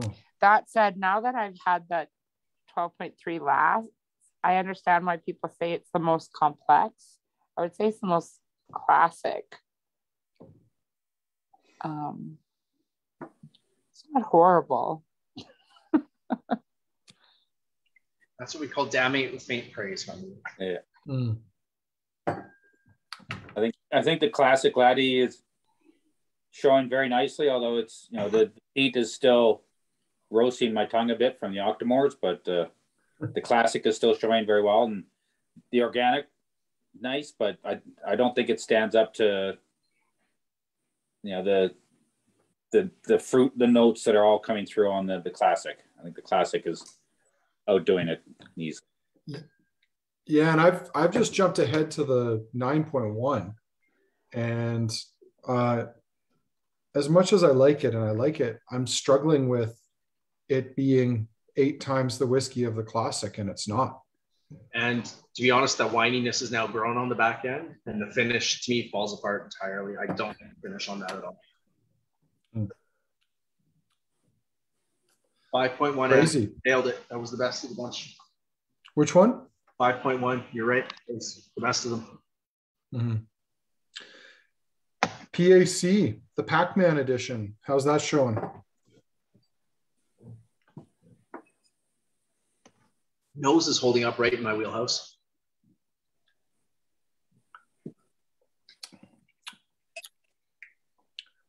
I, I like I think the, the the Port Charlotte's decent, but I'm getting this metallic note in it that I'm not loving. So that's fair. The um the palate's still good to me. Nose is still good. Palate's maybe just a little bit gun shy, but I like that style. I love it. I buy that. Mm-hmm. I just see Roy's um, there too tonight. Roy's with Paul. What's that? I love seeing all these familiar faces. Yeah, Paul and Roy, the dangerous duo. Um, Harmony and Marty, either of you guys have comments on the Black Art or the Port Charlotte? Um, I'm not huge. I'm not hugely impressed with the, the Art. I expected more for that price, but uh, the uh, Port Charlotte, I'm liking.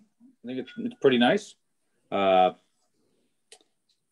just sort of, you know, more fondly rec- rec- recollect the old, like the PC5, PC6 type series.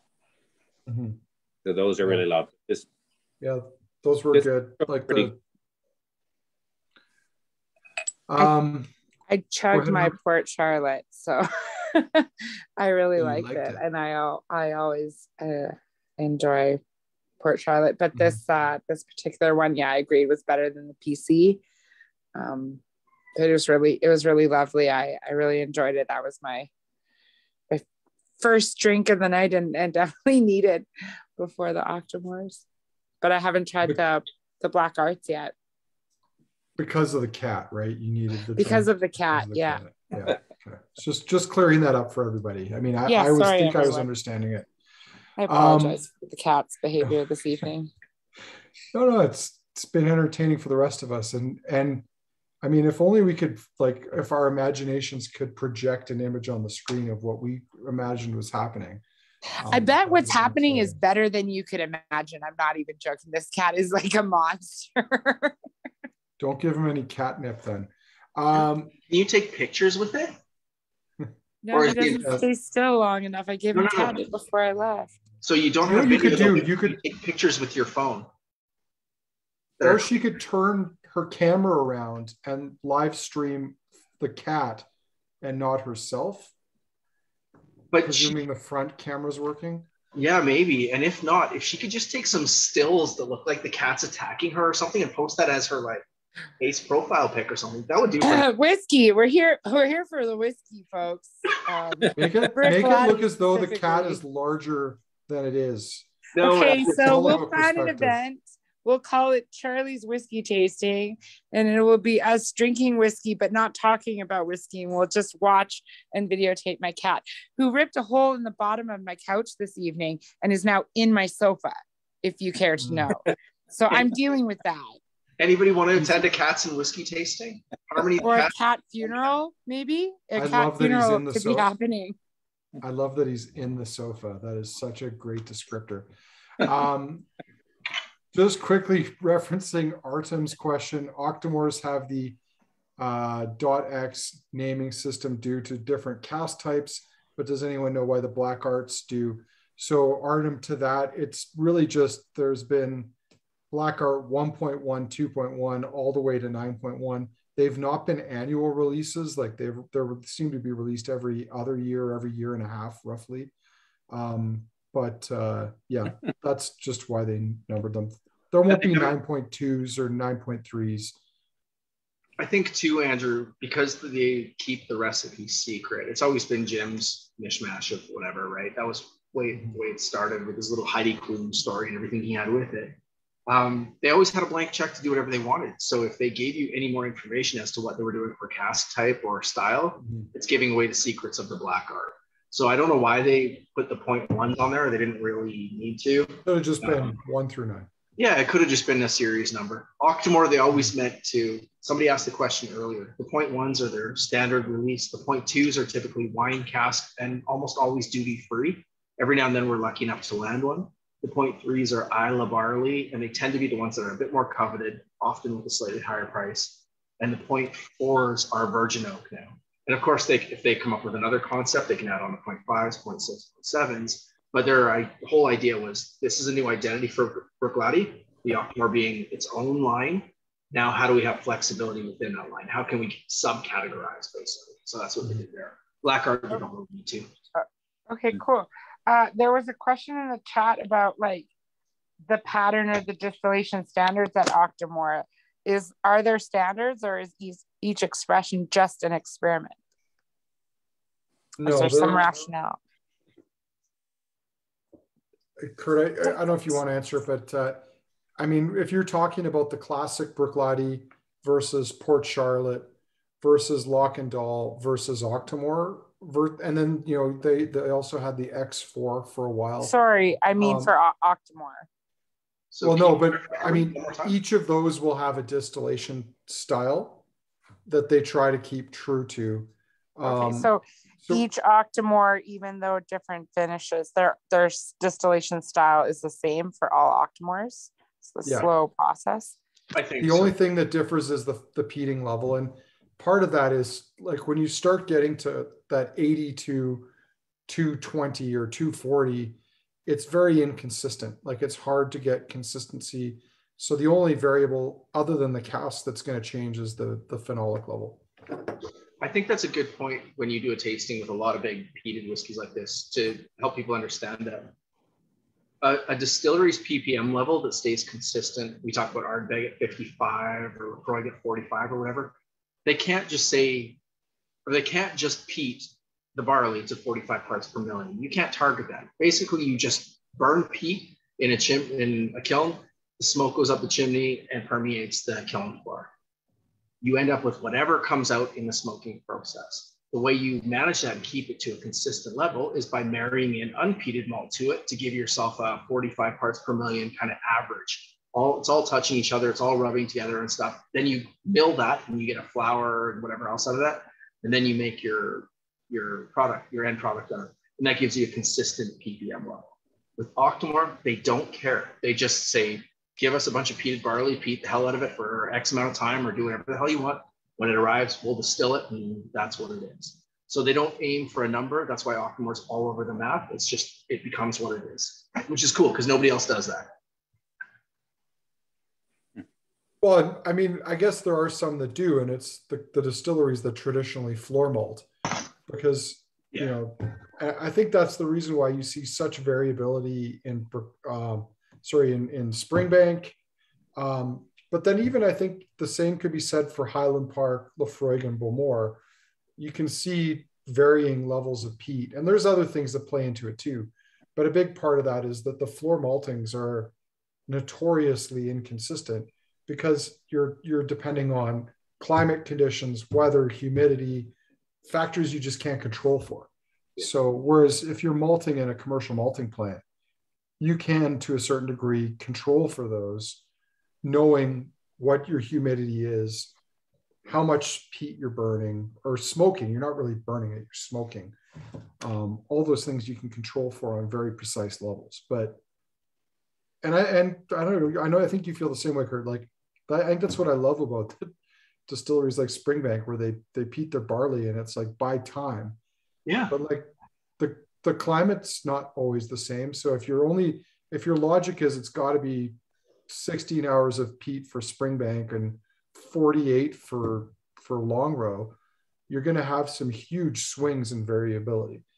I, have never understood this with whiskey drinkers, where we get so um, tied to a brand or an expression, it becomes to the detriment of all others. Uh, we've all got our favorite fallback movies we might watch a handful of times or even a bunch of times, but I don't want to watch the same movie every night. I want to watch different movies. Why get married to the same whiskey and drink that same whiskey all the time? A distillery like Springbank, as Andrew was saying, is always going to vary. It's always going to be exciting. There's always going to be differences. Mm-hmm. Just like Bruichladdich with what we're doing with their cask types here and everything. Life is short, man. Try it. Let it evolve. Let it be different. It's fun. Mm-hmm. Um, Ryan had a good question here. And actually, while I'm answering this, I'm going to fire the chat up. And I know we didn't go back and circle back on the Octomores, but I think we spent enough time on them. So I'm going to fire that poll up now. If you're sharing a feed, you you have to share a vote. That's just how it goes. But you do get two votes. You get a vote for first and second favorite. Um, Ryan was asking, where does the milling happen? Not at the distillery, I assume. And actually, Ryan, it does happen at the distillery. Uh, the vast, vast majority of distilleries in Scotland uh, receive their barley by truck. It's put into silos and then it's milled to fill the mash tun um, as they're producing. Um, some distilleries hold their barley longer than others. It all comes down to production, but generally speaking, the milling happens at the distillery. Um, yeah, so that's what happens. And you know, the crazy thing is the the mills, um, the old historic mill companies like Porteous and what's the other one, Kurt? That I'm Bobby. Boby Mill. You know, they all went out of business because they made too good a product. I mean, all the distilleries tell you the same story, but really that milling stage is actually quite important because not only are you trying to get the right, right ratio of, you know, um, essentially flour, husk, and uh, grist, but you're also trying to create enough grist that it's going to be a filter or enough husk that it's going to be a filter for everything else so that it drains properly. Um, so good question. I'm not sure where the Spaceballs reference came in here, but I'm sure I'm missing something. this is the best tasting ever. Like we have we have gone into some of the most amazing side conversations and tangents. Well done, guys. I love it. But speaking of which, Yeah. do you know where the Spaceballs came, comment came from? No, Kurt Lord was, talk- Helmet. Kurt was talking about not wanting to watch the same movie every night, and he's just saying, you know, could watch Spaceballs every night. fair. I just wanted to offer a comment on, I think it was, was it Ryan at looking for a special occasion to open the 7.4? And I'd have to say that Virgin Oak edition was probably the only Octomore I really disliked. Oh, It just didn't hang together at all for me with the Virgin Oak. mm, fighting words. It's a huge whiskey, that one. Yeah. And then what? Where did the Diablo come in? There was that one that was in the red. Do you remember the one in the red, the red tube? Uh, the red tube was Orpheus. Orpheus, that's what it was. Yeah. The That was- Matrix edition. That was the 2.2, and holy crap, what I wouldn't do to get my hands on more of that. Um, I That do was Bordeaux cask, right? It was which shirt? I think it was Bordeaux cask. I don't think it was Bordeaux, but it was a wine cask, as was the 4.2, the Comus. Uh, both of them were incredible. Um, I thought which- Comus yeah, was Sauterne. I think Comus was Sauterne. I think you're dead on accurate, but I don't think that the um, Orpheus was Bordeaux. I could be wrong. So, But- so Jeff and or someone else, if you want to fact check that while we're chat- right. chatting, that would be great. Um, yeah. Okay. The poll. Let's check in on the poll. Chateau Petrus, which is Bordeaux. So Andrew for the win on that. Bordeaux cask. Petrus is the most famous of the Bordeaux houses. So you And. Kurt's wine ignorance shoots him in the foot, and Andrew wins. Turn, turns out like turns out my brain is still okay. It's not good, but it's okay. Uh, all right, how are we doing on the poll? I think we're going to call it because it's been up now for almost four minutes. Thirty-five of thirty-eight eligible voters have responded, and uh, what are the winners?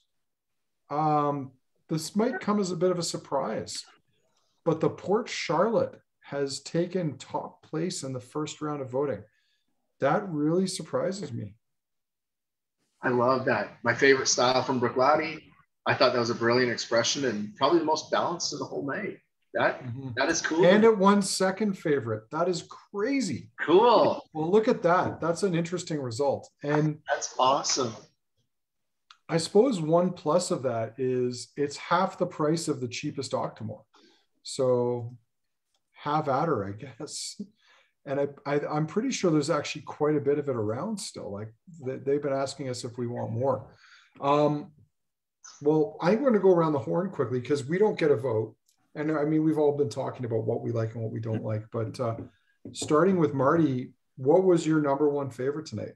Uh, I'd say the, the Port Charlotte. Oh, man of the I'd- people. Then I'd go for the classic. Okay. Okay. I think, it- Harmony. I think the classic showed really well. Uh, the classic has always been a favorite. I always have a bottle, and it is the only scotch that I know I've repurchased like more than six or seven times. Like it, it I've been, I haven't rebought any whiskey the way I've bought the Laddie. Um, and then I like the Octomore uh, 1.2. Uh, uh, sorry, 12.2. Um, I liked it a lot. yeah. Yeah. Nice. Kurt.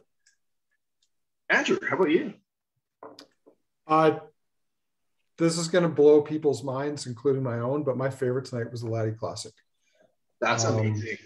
I I can't believe how much I like that, and I think it's because I'm I've been all about spirit driven whiskeys now for about four or five years, and most of those are like 25 to 40 years of age, and this is probably seven to eight years of age, and it it's blowing my mind how much I like it. So, um, yeah, the Laddie Classic is my favorite, and actually the of the Octomores, the 12-2, the Sauterne. I don't I don't know why, but that's my favorite from that's my second favorite tonight. So I would not have picked those as my two favorites going into tonight's tasting. I was expecting Black Art and probably the 12.1. So That's the kind of result that makes whiskey exciting, though. It kind of knocks you back a bit and go, okay, there's there's more out there. Let's keep this game going, right? mhm. That's cool. Yep. All right, Kurt. Yeah, man. Um, the Port Charlotte. I, love the Port Charlotte. Um, and then the the cleanest was the Octomore 12.1. It was great, but again, just if you're pouring me another drink, I want another one of the 12.3. So I'm going to go with the Port Charlotte and the 12.3. Having said that, if I had to pick one whiskey that it was just this is all you can have, it would just be the classic laddie. It's just so cool. It's it hits my palate in the right ways. Great young whiskey. Mm-hmm. Well, I'm just looking at some of the comments. There's been some great comments tonight too, and probably not because everything we're tasting is above 46 and most of them above 50. But uh, yeah, can we encourage that more? Comments. Actually, um, I know we can't get to all the comments. We try to interject them, and we try to, you know, I think Andrew's really good at it too, jumping back to grab some of the ones that kind of scrolled past us too when we can. Um, mm. But even if the interaction is in the comments, it makes it so much more like we're actually having a dialogue when we're in the room together. So please keep the comments coming. It's a lot more fun. Yeah. Yeah, there's been there's been some good ones in there, so they're quite enjoyable. Um, I, I uh, before we start winding this down, um, for those of you who live in Calgary, um, if you want to come see us in person on Saturday, we think that'll be possible. So please do if you feel like it. Um, yeah, there's uh, what else we got going? We're going to dump some new tastings on the website next week. There'll probably be a newsletter out. Um, so lots to look forward to. We have a cool new 30th anniversary cask that most of you probably were not expecting, but you're all really going to love. Um, we've got an we've got a cognac cask from Chateau Montifaud. It's our first bona fide 30th anniversary cask. And the reason I say that is um, we have a Compass Box blend coming that is off the chains good that we're really excited about, like our 25th anniversary bottling. And that was in the works, that was in the pipeline. Um, but while we were working on that, we committed to two uh, Great King Street casks, the Artist Blend and the Glasgow Blend. And they bought, they, managed to slip in their 30th anniversary on there. Even those are those aren't true 30th anniversary bottlings, but you know, we appreciate the thought from them on that. The Compass Box is coming, but the very first one is a Chateau Montifaud 1992 cognac. Um, we had a 25th anniversary 1992 cognac from these guys years ago. This is a small cognac house. Their cognacs are excellent. Um, I, I think really appeal to people that are into whiskey, not just cognac. Um, but what's cool about it is it's five dollars more than the the one we did five years ago for our 25th anniversary. So, in an age of intense whiskey inflation, liquor inflation, um, somehow it's only gone up a dollar a year over the last five years for a new cask. So that's really cool. We'll have that out information on that next week. We have a Tomatin cask coming soon we have a 1992 Glenfarclas family cask that we've bottled for our 30th anniversary. That, I, and I know this is one where we're like, we just couldn't, uh, and we are trying to do the math. we're like, oh no, but we can't turn this down. We'll never get this chance again. So, so much cool stuff to look forward to. More great tastings coming up. And Kurt, look looks like you're you're you have a thought. You have. Uh, no, I'm I'm agreeing with everything you're saying. That that Glenfarclas in particular so exciting. Yeah. I can't wait for that to come. And the, the fifth, is it the fifth or the fourth? There's a there's a Glen there's also a Glenfarclas Ego Series bottling coming, which may be the last. It's the fourth actually. It's the we're not sure if there'll be another one after this, but it's coming to. And that almost didn't happen because Glenfarclas is running short on stocks and tried to say no, but the agent insisted that they bring it in. So there's cool stuff. Do you remember we've got a Glenallachie coming. We have another Benromach. So you see, Andrew saw that there was a, an oasis ahead for Glenfarclas for getting his face and name on bottles. So he jumped companies over to the boutique whiskey company. so expect to see more Ferguson bottlings through the boutique. Oh, company. yeah. Like what? What other monuments can we urinate on? Is uh, I suppose the question to ask. Um, but anyway, around. Holy shit! Absolutely. You see that oh comment? Oh yeah, no, that I think we maybe we have to go really young and feisty for that one. Something with a lot of torque. So Wow. yeah. All, while we're on that train of thought, though, it, it it has probably a lot of you have thought about this, and um, trust me, it, it's come up in our our minds as well too. There will likely be both a truckload and a door crasher sale at some point in the near future because you know we got to have some fun with this and exploit it a little bit. So. Uh, and Cat Sky wants to see a harmony in her cat series. I think that's perfect for boutique. I think they can draw something up for that. So As long as I But can anyway. pick the barrel, I'm in. all right. Well, we'll see. That we didn't get to pick the last one. It was kind of a yes or no, but never know. It, it might happen. Um, well, listen, everybody. I think uh, that's about a wrap. Um, some great questions tonight. A lot of great feedback. Fart cloud. Oh man, this could just keep going for a while. It could get dangerous. But uh, thank you very much for taking part in tonight's tasting. I hope you enjoyed it. I want to thank um, Kurt and Marty and Harmony for joining me uh, tonight to talk Bruichladdich. Um, the only thing that could have been better is if we had like, you know, one of the boys from Bruichladdich on tonight. And just imagine how awkward they would get with some of this trying to represent that corporate side of things. It would have been funny. We'll do that at some point in the future. Maybe when we get our, oh yeah, we have another Bruichladdich cast coming too. So there's that as well. Oh, oh my God, the uh, comments tonight. Are these recorded, Andrew? and these things? Yes. Oh my god! you oh, the guys comments. make laugh so hard. I think we can download it. Who just typed Glenn Fartless? I missed whose name it was, but I that think that's one of the Andrews twins. So Jesus. Oh my Yeah. lord. yeah, Sky. They the, the Ant- Sky and Stefan have some good ones. They're they're sleepers. They're, they just kind of sit there like snipers. They come up with some great one-offs. So Like Um, Charlie's farts. yeah. So lots to look forward to, and maybe we'll get uh, we'll get one of the boys from Bruichladdich to join us when our next cast comes up.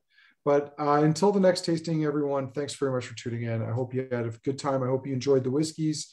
Um, and if you didn't learn anything, hopefully you were at least mildly entertained. Um, so until the next tasting, um, have a great night. Good. Good night. Good night.